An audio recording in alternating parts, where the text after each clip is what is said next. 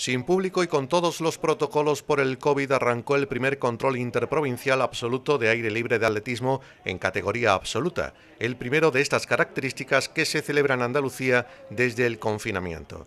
Las pruebas realizadas fueron largas de fondo en 800, 1500 y 5000, tanto en masculino como femenino, a lo que habría que sumar también las pruebas de pértiga en ambas categorías.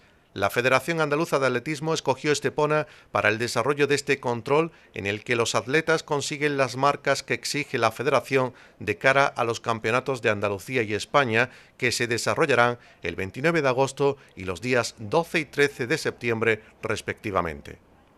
Rafael Jaramillo, presidente del Comité de Jueces de Málaga, juez de pista y coordinador COVID en las pruebas de Estepona, apuntó que el protocolo ha obligado a adaptar la habitual salida de los corredores, señalando por calles cada una de ellas y en cada prueba. Este nuevo sistema contempla que los atletas participen en igualdad de condiciones. Nosotros elaboramos un sistema que tenemos de decalaje que se le llama, en el que se averigua dónde va cada una de las salidas con las compensaciones por las curvas. Es decir, están corriendo todos lo mismo, solo que salen de distintas formas de la habitual nuestra en nuestro atletismo.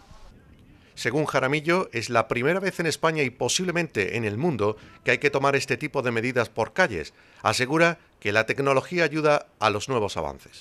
Y este sistema que estáis viendo de salida es pionero en Andalucía y casi en España. Nosotros metemos el sistema de sonido de salida, como estáis viendo a través de altavoces, ya no está la pistola de fogueo antigua, y, y, alimentamos toda la pista con este tipo de sonido porque ya estáis viendo que las salidas son alrededor de toda la pista. Entonces, hoy la tecnología es fundamental. De forma simultánea, el estadio de Carranque en Málaga cogió las pruebas de 100, 200 y 400, así como de saltos, mientras que en Motril se desarrollaron la carrera de obstáculos, marcha y lanzamiento. La federación destacó el alto nivel de los participantes que estaban deseosos de arrancar con competiciones oficiales a pesar de las dificultades que entrañan las medidas de seguridad. El concejal de deportes José Antonio Bandera se mostró agradecido con la federación por elegir Estepona para este tipo de pruebas.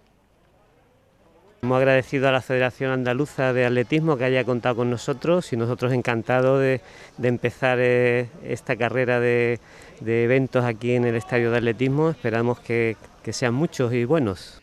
Este primer control se desarrolló con las gradas sin público, pero la federación destacó que más adelante se podrán ocupar con un aforo que no supere el 65%.